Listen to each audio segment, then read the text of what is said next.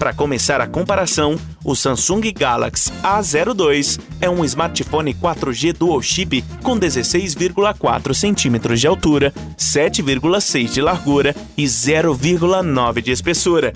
Por sua vez, o Samsung Galaxy A22 também é um aparelho 4G Dual Chip, mas com 15,9 centímetros de altura, 7,3 de largura e 0,8 de espessura. Na parte da frente, o A02 tem tela infinita de 6.5 polegadas HD Plus e câmera frontal de 5 megapixels. Já na parte da frente do A22, temos display infinito de 6.4 polegadas HD Plus e câmera frontal de 13 megapixels.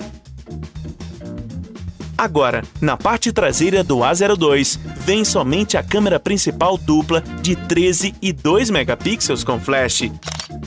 Enquanto isso, a parte traseira do A22 traz câmera principal quádrupla de 48, 8, 2 e 2 megapixels com flash. Para rodar jogos e aplicativos, o A02 foi lançado com o sistema Android 10 e processador quad-core, junto com 2 GB de memória RAM. Já o A22 veio com Android 11 e processador octa-core ligado com 4 GB de RAM. Além da bateria 5000, o A02 tem armazenamento de 32 GB para salvar seus apps, fotos e vídeos, expansível até mais 1 TB.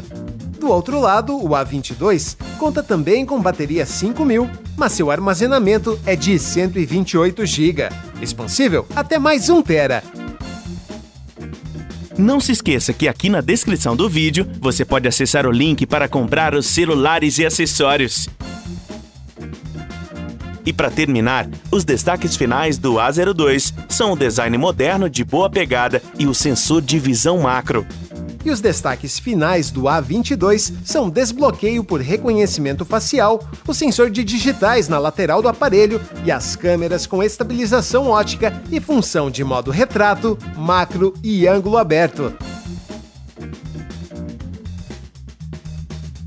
Legal, né? Veja as nossas dicas para os dois celulares os links na descrição do vídeo e se inscreva também no canal.